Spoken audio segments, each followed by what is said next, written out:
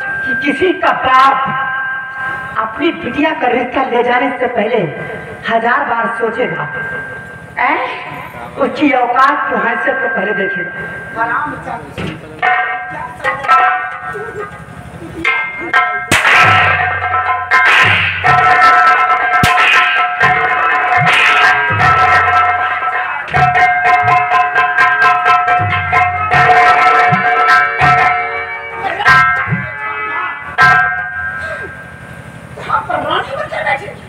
माँ ये क्या कर रही हो तुम? बहू पे इतना जुर्म सितम कर रही हो और जरा भी तुम्हारे अंदर शर्म हया नहीं आ रही। माँ। मैं जो कुछ कर रही तेरी अच्छाई के लिए कर रही हूँ। अरे माँ। तो चले जाऊँगा नहीं। शर्म करिए माँ। ये तुम्हारी बहू है और बहू ही नहीं। एक बेटी है इस तरह तुम इसे शर्म कर रही हो। जरा भी तुम्हारे अंदर शर्म है नहीं। माँ मारे जाए ऐसी बहू ए माँ से चले जाओ।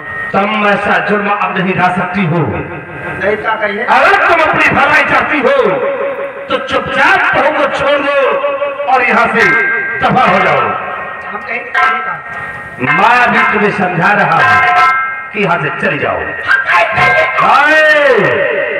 चिल्लाओ नहीं नहीं ज़ुबान खींच कर हथेली पे रखूँगा। चली जाओ यहाँ से। देखा था भैया? ये हमारा पर जवान लड़का है? नौ महीना पेटे में रखी से पाँच साल का दिन आज क्या करिए चली जाने जवान की क्या देखते थे उसी दिनों का सोच रहा हूँ ए, जिस तरह तुम बहू पे चढ़ रही हो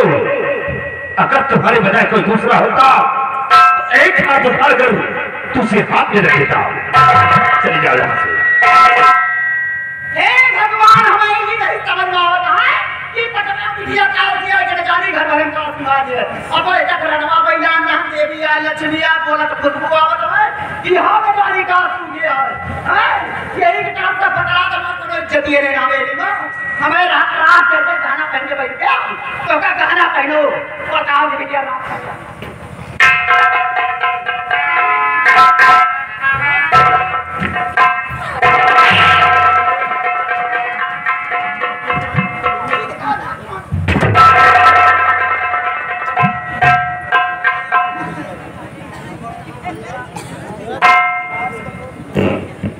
आज क्या हो गया बापू? जो इस बहू पे जुर्म कर रही हो।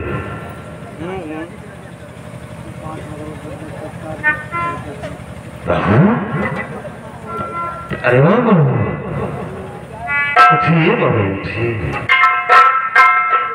घबराओ नहीं बहू अब तुम्हारे कोई जुर्म सितम नहीं होगा। घबराओ नहीं। अब कोई तुम्हें नहीं सताएगा मैं आपका एहसान कभी नहीं भूलूँगी। अगर आप ऐसे समय पे नहीं आते तो मुझे मुझे मार डालते। घबराइए नहीं। इसमें एहसान की कोई बात नहीं है। ये तो मेरा फ़र्ज़ और धर्म था। जो मैंने आके पूरा किया है। लेकिन अब तुम घबराओ नहीं। अब तुम्हारे ऊपर कोई जुर्म सितम नहीं होगा। प्रिया देखिए ये माँ है। मैं ज़्यादा कुछ कह भी नहीं सकता हूँ। इसे माँ की तरफ़ से मैं तुमसे खुद क्षमा माँगता हूँ कि माँ की गलतियों को माफ़ कर दो। नहीं, ऐसा मत मत कीजिए। आप मेरे पिता तुल्य हैं। मैं आपकी बेटी जैसी हूँ। आप मेरे हाथ जोड़कर जो मुझे शर्मिंदा कर रहे हैं, ऐसा मत कीजिए। प्रिया, देखिए जो हुआ सो हुआ, इसे भूल जाओ। भूल जाओ सारे कष्ट, सारे गमों को वक्त और प्रिया, मैं तुमसे एक बात कहना चाहता हूँ। और हमारी बात को बुरा ना मानो तो तुमसे कहूँ। क्या कहना चाहती हैं आप? प्रिया कहना मैं यही चाहता हूँ कि अगर तुम चाहो तो इस हवेली का कभी बंटवारा नहीं हो सकता है। अगर तुम चाहो। मैं आपका मतलब समझी नहीं। नहीं समझी। तो सुनिए प्रिया के हम तुमसे कहना क्या चाहते हैं?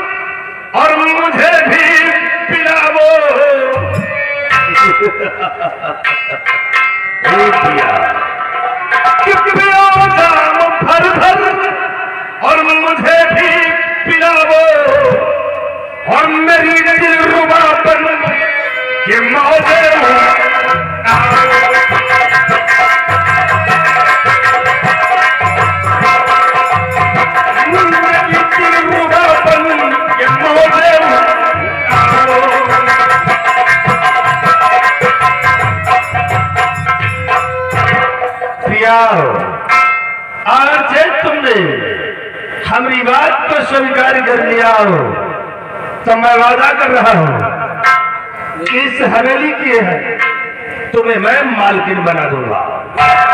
सारी दौलत तुम्हारे आंचल में डाल दूँगा।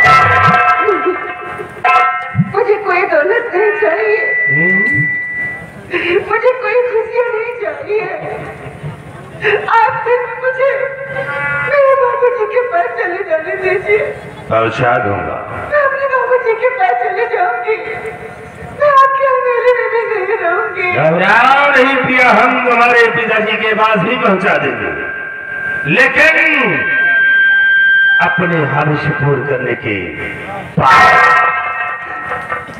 अगर प्यार से मान गई तो अच्छा ही। अन्यथा याद रखो प्रिया, हवेली में कोई बचा नहीं सकता है।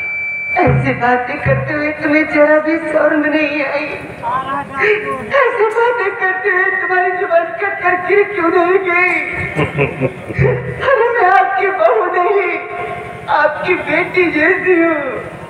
कौन किसकी बहू? और कौन किसका जी? मार! इस रिश्ते को गोली और लग मेरे सीने से। मैं सारी खुशियाँ तेरे आंचल में डाल दूँगा। नहीं आज मानेगी तो देख फिर। आज हम तेरे साथ लेकर करते हो। बात तू कहाँ तक जाएगी? अगर नगराज सिंह के पंजे से बच सकती है तो बता दे अपने आप को।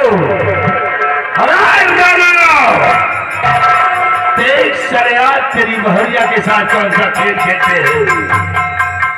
मैंने कहा था कि ते- तेरी इज़्ज़त को अगर नीलाम न कर दिया हो तो हमारा नाम नगराज सिंह नहीं है। और ऐसा खेल खेलूँगा, ऐसा तार बना दूँगा कि वो तार को शाह तक नहीं छोड़ पाएँगे। आ रहा हूँ, हाथ कहाँ तक जाए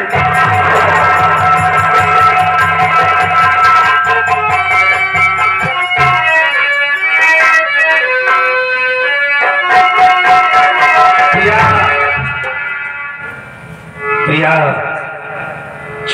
एक बार एक बार मेरा कहा मान ले मैं तुझे छोड़ दूँगा अगर चित्त प्यार से।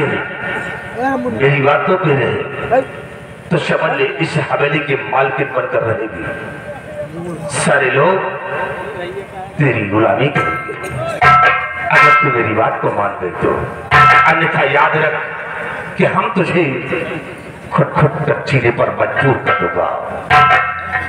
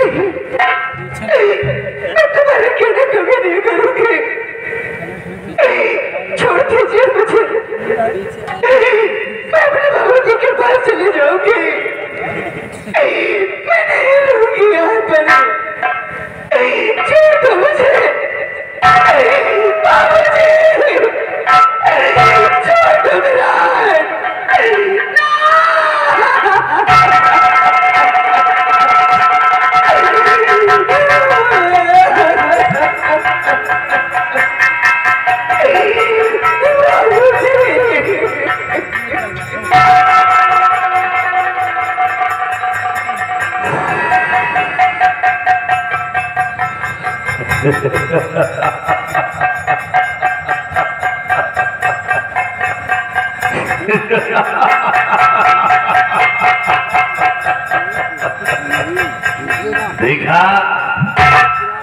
प्यार से समझाता था तो नहीं मानती हाँ? अब देख, कि तेरा क्या हाल हो गया? कि तू ये अपना काला चेहरा किसे दिखाएगी? अपने बाप को या उस साले राणा को। को